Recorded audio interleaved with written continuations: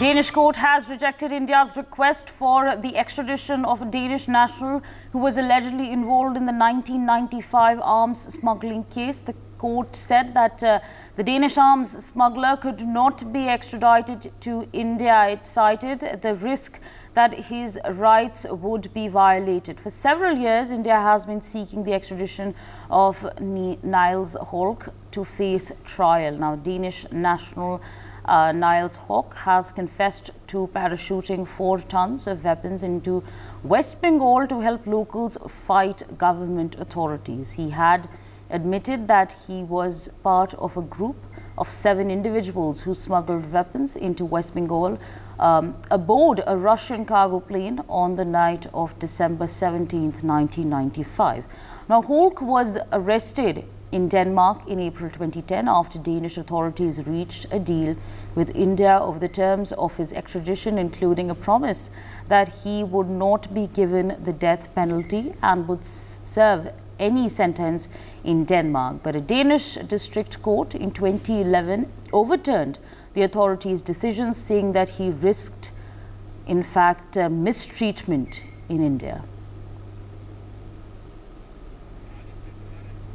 Aditya on the telecast with me. Uh, Aditya, if you could take our viewers through the details that are coming in, what exactly is it that the Danish court has then uh, uh, done? They have, of course, rejected uh, India's request to extradite um, uh, Niles Holck, is what we're learning.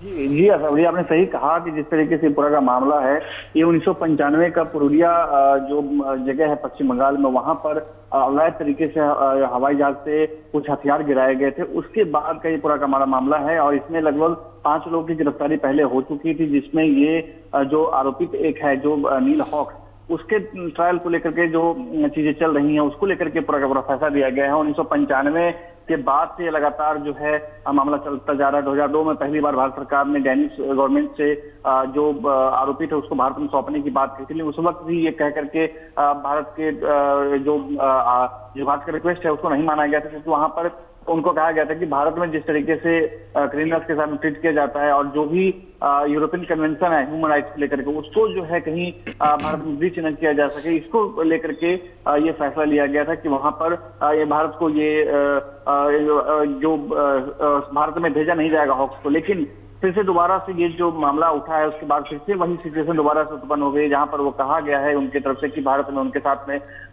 जिस तरीके से भारत में आरोपितों के साथ पेश किया जाता है तो कहीं उसके साथ में कोई जाति न की जाए उनके साथ मारपीट या कोई ऐसी बदतमीजी न की जाए जिसके बाद जो ह्यूमन राइट्स का जो मामला उठता है वो जो ब्रीच न किया जाए उसको लेकर के ये फैसला लिया गया है जी For more such videos, subscribe to the NewsX YouTube channel, hit the bell icon.